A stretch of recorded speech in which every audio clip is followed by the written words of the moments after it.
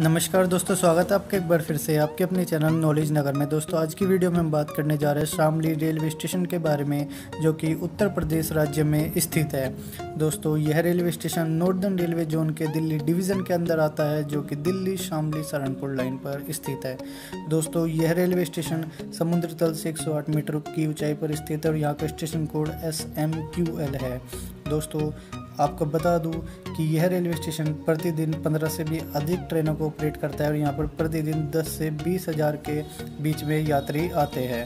दोस्तों, अब बात करते हैं यहाँ पर प्लेटफॉर्म्स की। तो यहाँ पर प्लेटफॉर्म्स की संख्या तीन है।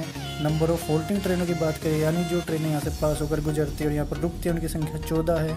और जो ट्रेनें यहाँ से अपनी जर्नी की शुरुआत और यहाँ पर अपनी जर्नी का अंत करती है, उनकी संख्या मात्र छः है।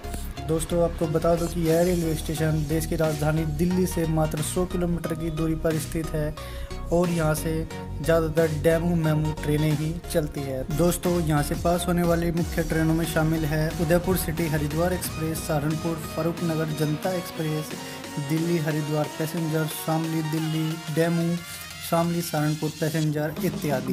दोस्तों, अब बात करते हैं इस स्टेशन की हिस्ट्री के बारे में। तो यह रेलवे स्टेशन 19वीं शताब्दी में बनकर तैयार हुआ और अभी यहाँ पर सिंगल डीजल लाइन उपलब्ध है। तो दोस्तों, आज की वीडियो में बस शामली रेलवे स्टेशन ही। अगर आपको मेरी वीडियो इस स्टेशन के बारे में अच्छी लगी हो तो मेरी वीडियो को लाइक कीजिएगा, शेयर कीजिएगा और चैनल पर नहीं है तो चैनल को सब्सक्राइब कीजिएगा। मिलते हैं आपको एक नेक्स्ट वीडियो में, एक नए स्टेशन के साथ। टिल देन, सभी को जय हिंद, जय भारत।